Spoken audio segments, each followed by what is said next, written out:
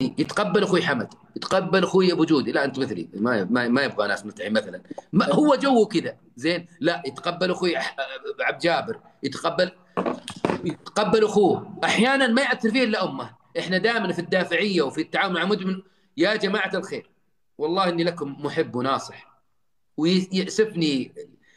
أنا كنت أقول كلمة قاسية علينا شوي. أقولها ولا ما أقولها أبو جودي والله إني أقولها. بقولها. اللي ما الله أنت آخر لقمة طيبة وتضبط معنا واللي ما بتبغى تقولها تقولها ترى بتضبط. كنت أقول كلمة قاعد بس يمكن قاسي قلت الأسرة السعودية المحافظة عندها أمية وجهل شديد في التعامل مع المدمن إلا ما رحم الله. عندنا إشكال في مجتمعنا المحافظ في التعامل مع المدمن. أحيانا حنا نوتر الأمور ما نعرف نتعامل معه. إحنا نجتمع عليه خمسة أربعة وبود كنا نجلس المحاكمة. إحنا لقينا إنك كذا. ولا ما متى إنك كذا؟ إحنا الحين حارين جافين.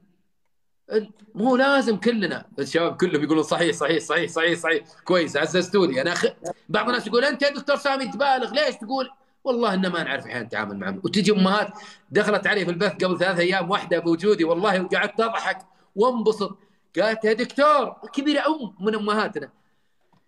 قالت كان إذا تعاطى كذا. انشب له أقول أنت كذا وأنت كذا. كشفتك اليوم. كشفتك كذا. قلت لها أنا الكلام ذا قبل أسبوع. يا أمي إذا ذا اتركيه وتبسم في وجهه. واتركيه وخليه وتعالي له وقت ثاني. والله العظيم اللي معنا في البث يمكن يذكرون. دخلت عيني قبل يومين. قالت يا دكتور ابشرك طريقتك حلوة. قلت كيف؟ قالت كشفته قبل قبل قبل الأسبوع هذا. زين؟ تركته ناظرته كذا بحنا وتركته ما تكلمت بكلمة. جاني هو اليوم الثاني يحب رجولي يقول لي غريبة ما هاوشتيني. قلت قالت ليش اهاوشك انت حبيبي أنت نور عيني أنت كذا. ترى المدمن ما يجي بالمقاومات وبالجدل. لازم ناخذه يمكن إذا ما تقبل مني اللي كنت بوصله لكم يتقبل من واحد ثاني. فإحنا نبحث عن المفتاح للقلب. من هو مفتاحه؟ يمكن ما هو من الأسرة صديقه أخوه ولد عمه. واحد يحبه نقول له بيننا وبينك حاول معه. نصل معه مو هو يعالجه ترى لا أنا وياك والثاني يعني البعيدين عن المراكز العلاج الإدمان والبرامج ما نطالب الاسره إنها بالتفاصيل إنها تعالج لا. أبغى منك تعزز عنده شيء واحد اللي نبحث عنه المفتاح وهو القناعة والدافعية إني أنا عندي مشكلة وفيها حل وأنا ممكن قابل مقتنع مستعد وجاهز لأني يعني أتعالج من هالمشكلة عن طريق المختص. اشبكوا بالمختص؟ وخلاص. سواء كانت جهة أو ولا, ولا نجتمع عليه ونضيق عليه كلنا. نحس إن إحنا قريبين منك وإحنا معاك. زي صحيح. باللفظ هذا. أنا كتبت في حسابي في تويتر الكلام ده. قلت نقول للمدمن دائما وابدا إحنا لا نتقبل سلوكك الإدماني. وهذا يضرك ويضرنا. تمام؟ ولا يمكن نتركك. والله ما نفكك. لكن إحنا نحبك. ونتعاطف معك ونقدم لك المساعدة ونقدر إنه هذا مو ثوبك ونقدر إنه هذا سلوك خارج عن أساس مو باساس شخصيتك أنت ما أنت سيء بس اخلع عنك القناع هذا بس. بنعزز عنده الجانب هذا. طيب تقول لي يا دكتور يا دكتور سامي بعض الناس يقول الكلام سهل. إي نعم الموضوع صعب صعب الموضوع. ليس تغيير النفوس الأنبياء والمصلحين يجلسون سنوات وإحنا نغير بعض الأفكار. لازم نستعين بالله في في موضوع انه إيش؟ مع الوقت مع الوقت. ونستفيد بوجود أمر مهم جدا للأسر من موضوع المد والجزر زي البحر. البحر إذا صار هايج اتركه فلما يجزر عنده لحظة ندم. تشوفه يوم من الأيام وده يغير حياته. ما في مدمن في الغالب إلا يا أخي والله ليه متى هالعيشة؟ ليه متى أخي؟ ودي اغير نجي المرحلة هذه نقول له يلا مشينا. ولا تتأخرون لأن اليوم الثاني بغير رأيه. لا تتغير. ونستفيد أيضا أختم الكلام هذا كثير في موضوع المنكر الإنكار والتعامل مع المنكر. أيضا اليوم هو منكر لكن بكرة يعرفها الله سبحانه وتعالى أن أمر الله حق. بقاع بصدمة سواء كانت صدمة صحية جاه مرض نقلوه المستشفى. يا حبيبي بسم الله عليك وما تشوف شر لا انت شفع فيه. وسجن جاء سجنة ما أنت في سجن يقول شفت؟ أمس أو قبل أمس أمس والله.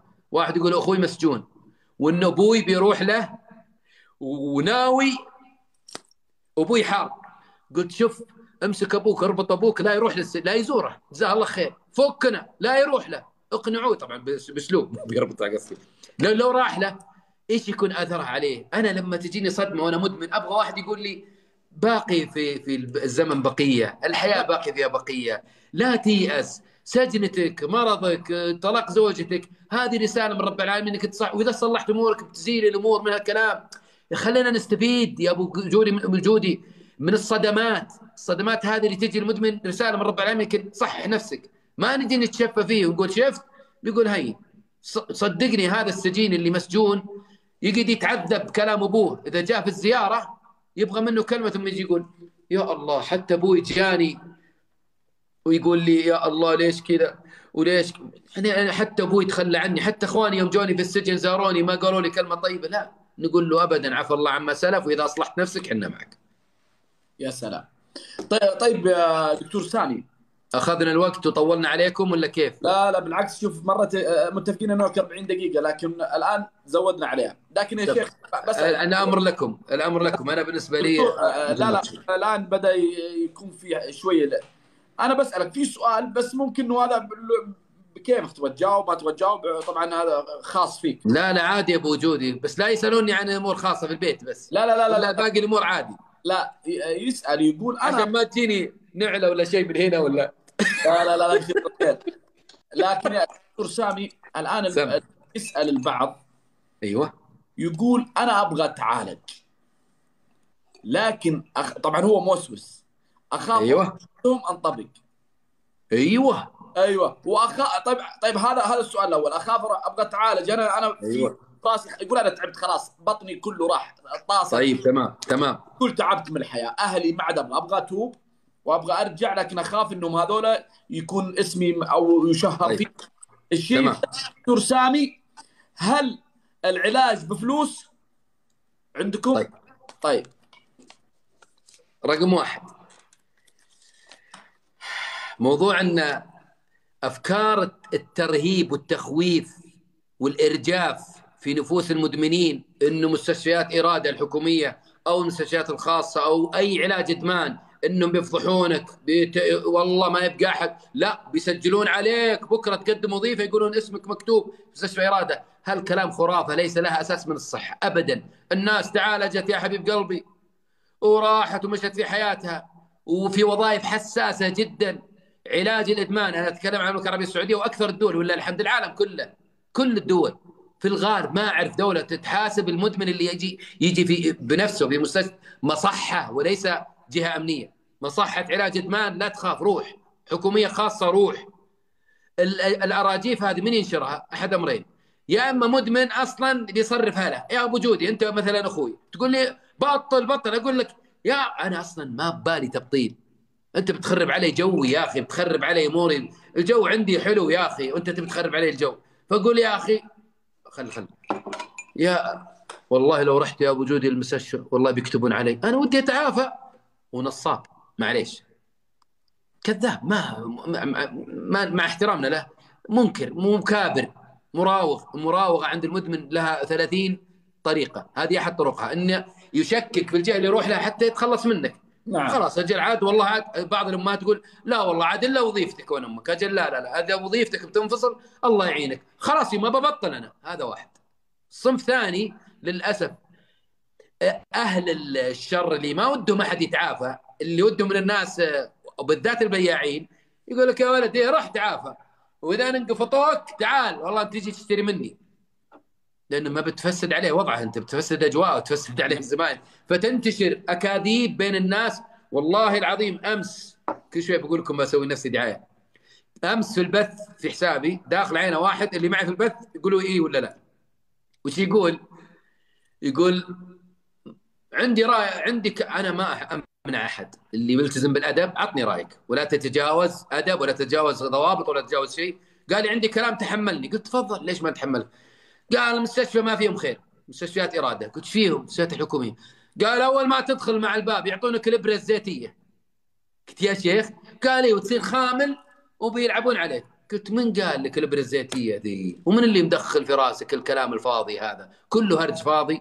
أكاذيب تنتشر تنتشر بين الشباب. وبيعطونك كذا وبيعطونك كذا. يا رجل إذا عطى واحد علاج لأنه يستاهل يا رجل أنت يعني وضعك بالإدمان. تلهم في السموم في المخدرات. مخدرات تجيب لك مصايب. يوم جيت المستشفى يعطونك علاج قال لا العلاج ده يدوخ لي ما يا رجل. تناقضات. فكل الأشياء هذه يعني يعني هي من الأشياء اللي نحذر الشباب منها. إذا جاك واحد يقول لك لا تروح المستشفى يقول له أروح لمين يعني؟ يضبطني البياع؟ أيوه أروح هذا هو. للبياع؟ وين أروح طيب؟ في حل أهون. هروح. طيب أعطاك علاج وجلست أسبوعين فيك دوخة ولا العلاج هذا ينومك لازم تنام. تبغى تستلج؟ السحب السموم من الجسم لازم تنام يا حبيبي. يقول لا ما أبغى أنام. مو عليك التزم بتعليمات الطبيب والمعالج اللي معك بتفلح إن شاء الله. موضوع مركز رشد للإرشاد الأسري ليس مركز حكومي. إحنا مركز مدفوع. لنا تسعيرتنا مثلنا مثل المراكز بالنسبة للمركز اللي أنا فيه. لكن ما نرد أحدا يطلب العلاج. رشد مركز رشد التخصصي للإرشاد الأسري والنفسي وعلاج الإدمان. في طريق الملك فهد في موجود في جوجل لو كتبت مركز رشد التخصصي في الرياض. رشد التخصصي هذا العيادة اللي أنا في أنا المشرف العام مدير المركز ومدير البرامج عندي الأستاذ حمد الشيحان. وبالنسبة لنا كمعالجين عندنا 20 نفسانيين واجتماعيين ومرشدين إدمان وبرامج علاجية على أحدث البرامج العالمية. ما نزكي أنفسنا لكن إحنا ننطلق من خلال نجد ثمرات بفضل الله. وإحنا أر... ما نقول أرخص مركز إحنا آه ما إحنا بغاليين لكن ما إحنا مجانين. ما إحنا مجانيين لكن لا نرد أحدا يطلب العلاج أبدا. إحنا عندنا زمالة أسبوعية في المركز مجانية. عندنا برامج مجانية وجمعية إشراقة في الرياض ندل عليها. عندنا